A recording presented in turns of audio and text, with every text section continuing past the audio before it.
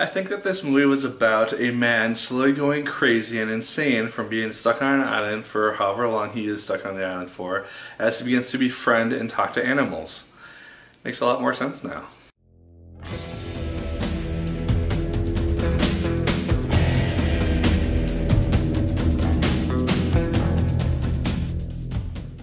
Hello once again watchers of good movies, my name is Nick Pell this is once again coming from my apartment. Now today we are going to be talking about the film The Wild Life. Now this weekend has not been great for movies for me. General premise of this film is that it's a very very loose adaptation of the tale of Robinson Crusoe. He is this uh, ship navigator who ends up stranded on this island and he has to try to survive on the island. The whole time there are evil cats who are trying to kill him and his dog and the nice friendly creatures who he befriends on the island.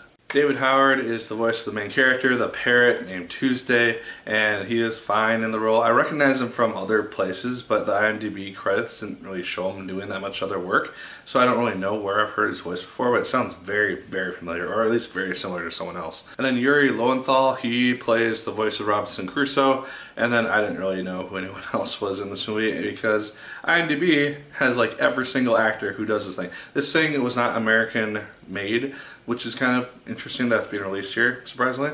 Um, so, yeah, there's other voice actors who have done this movie, and so that's a, that's why there's so many in this IMDb section. Animation, good for this movie. I enjoyed seeing it. I didn't see any flaws in it whatsoever. The animals looked good, and uh, our Robinson Crusoe himself looked fine.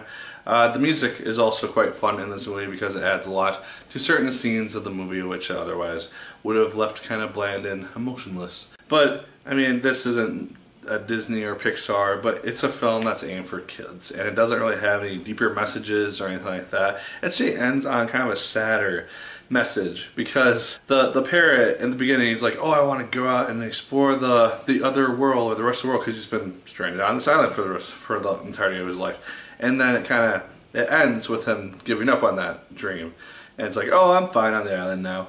So it's like, oh, give up on your dreams and you'll be fine. It's like, that's not the right message. It's also not really all that exciting, at least for me personally. Uh, a large majority of the film takes place with uh, Robinson Crusoe eventually befriending the animals on the island, as I said, as he goes insane, and then builds a treehouse with their help. And then they get attacked by cats and the cat's children every so often. And that's where kind of a weird time progression happens because it takes about two months, from my understanding, for a cat to go from pregnant to having the, its litter of kittens.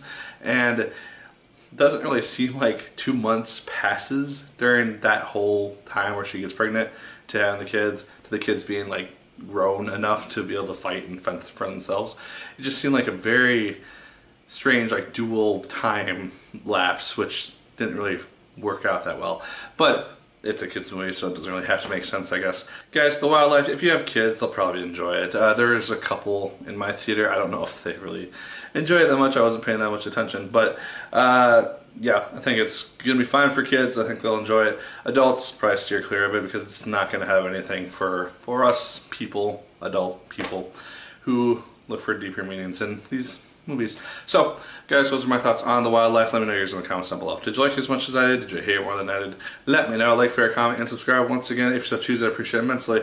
And as always, my people, my name is Nick Pell. And once again, keep on watching.